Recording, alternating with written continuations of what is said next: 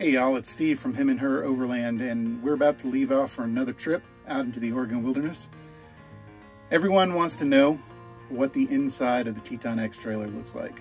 So I figured as we're packing up and we're getting ready before we go ahead and leave, I just do a quick walkthrough and just kind of pan around what we've got in the inside of the Teton. What we do a lot of times is we will just throw extra stuff into the trailer for storage as we're trying to get to wherever we're going if I don't want to throw it in the back of the truck or it just doesn't have another place that it lives.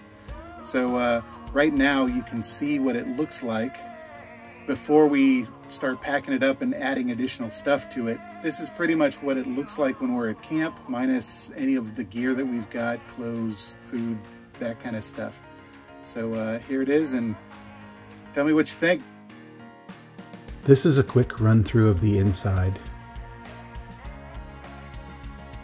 We never used the camper in sitting mode and added memory foam to the mattress.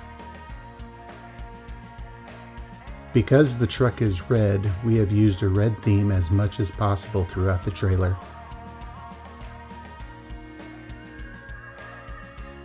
We will do a much more detailed walkthrough of the inside, including a look at the water tank and the power system in a later video.